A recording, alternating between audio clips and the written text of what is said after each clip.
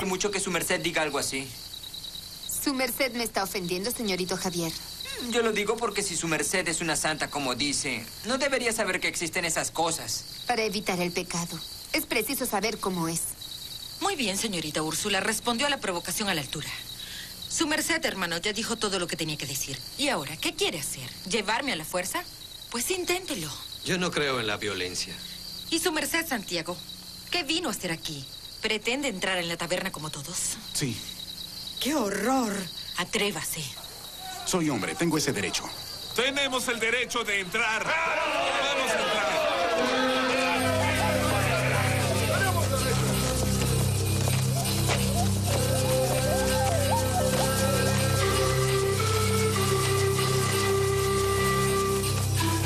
Chica. Sí, yo misma. Tardaba. Sabía que vendría a defender a su amiga Elvira. Yo no vine aquí a defender a Elvira. Ah, ¿no? ¿Y qué vino a hacer? Yo vine a decir que por mí, cada mujer puede hacer lo que quiera con su vida. Si Elvira quiere seguir ese camino, déjenla vivir. Para que nos robe a nuestros esposos. Ese sorteo es un pecado. Su merced lo sabe. Lo que sé es que su merced son unos falsos. Viven en la hipocresía. Esta taberna siempre existió. Pero cuando solo tenía una esclava para atender a los hombres, María Morena, a nadie le importó. Es verdad.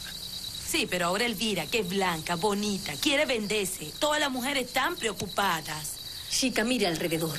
Todos los hombres del pueblo vinieron a ese sorteo. Dígame, señora, señora Cielo. Voy a decir todo lo que pienso. Vuestra merced vino aquí violante, porque nunca conoció el amor y eso le molesta. Vuestra merced odia a los que aman, por eso está seca. Y ni siquiera sabe el sabor de la boca de un hombre. Mona. Su merced debe saber de muchos. No me avergüenzo de haber sido esclava, no. De haber sido lo que fui. Su merced, señora Cielo, tiene el corazón tan seco que dejó que su hija fuera presa y no la defendió. Yo ya no tengo hija. ¿Y la señora portuguesa? que cambió a una hija por otra. Solo porque la primera tuvo un compromiso que no resultó. No os entrometáis en los asuntos de mi familia. Y yo preferí al esposo que recibí, no a ese señor José María. ¿Y la marquesa? que vive como huésped en mi casa. Pero insiste en atacarme siempre que puede. Solo pensaba en el esclavo Malé. Ladronzuelo. Hasta me sentí feliz cuando le cortaron las manos. Yo podría hablar de todas las que están aquí, pero no voy a hacerlo. ¿Y qué piensa hacer para impedirlo? Nosotras vamos a quedarnos aquí toda la noche si es necesario. Váyase de aquí.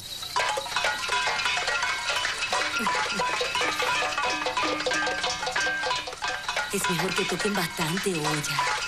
Así ellos vendrán más deprisa.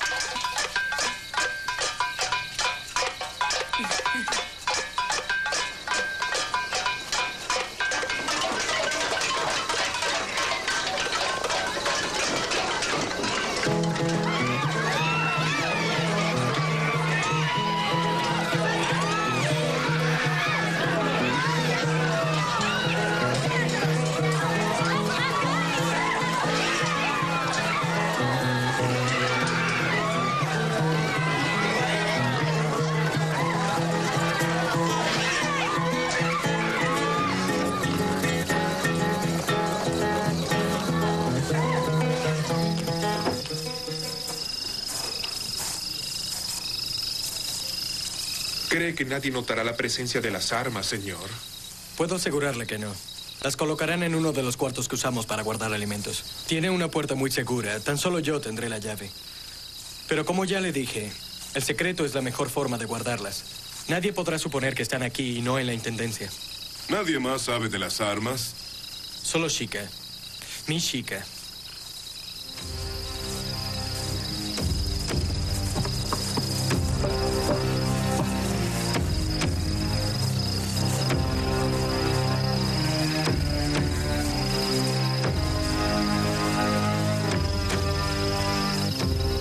Lo importante es que las armas ya llegaron.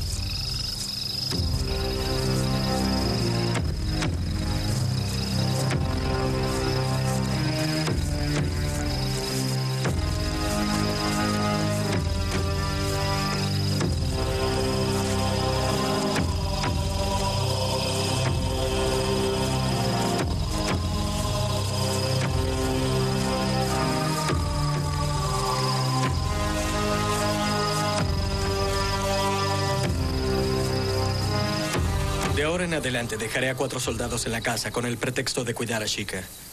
Si sucede algo, basta con que cierren las puertas y disparen por las ventanas. Sabremos que hay problemas. Su merced tiene razón. En estos lados se escucha el estampido de un arma a muchas leguas de distancia. Ahora sus mercedes tienen que irse para que nadie desconfíe. También estoy muy apurado, señor comendador. Estoy preocupado por lo que pudo haberle ocurrido a las mujeres del pueblo. Fue una mala noche para que llegaran las armas.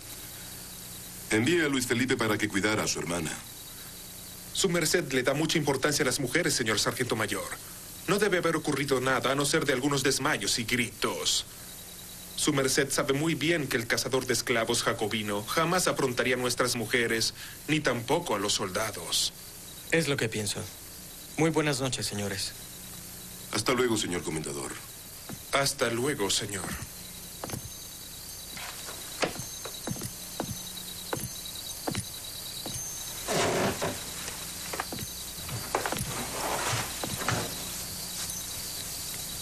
Vuestra merced. Pensé que había salido con Chica. Yo no sé a dónde fueron. Dormí hasta ahora. ¿Le han dicho que es muy bonita?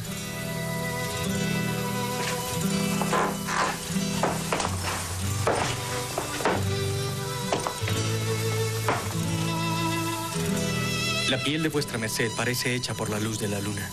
¿Y su merced? Es el sol para mí. Yo.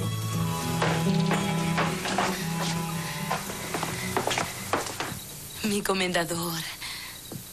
Clara. Pensé que no había nadie en casa, chica. Santo Dios. Se me había olvidado que estaba la preciosa Clara. Yo no quise despertarla. Estaba durmiendo tan profundamente. La presencia de Clara fue mala para su merced. ¿Yo? ¿Mala? No, no te preocupes. Tan solo me asusté. ¿Y su merced tuvo un buen paseo? Fue una porquería, mi comendador. Una porquería.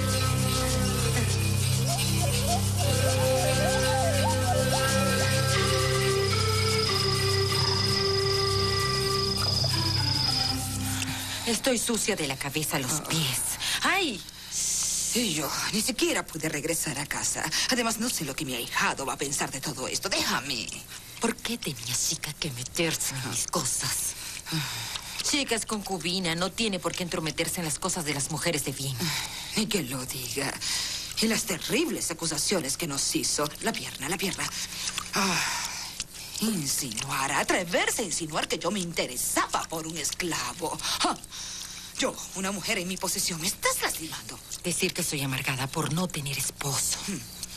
Como si una mujer de bien necesitase de esas cosas.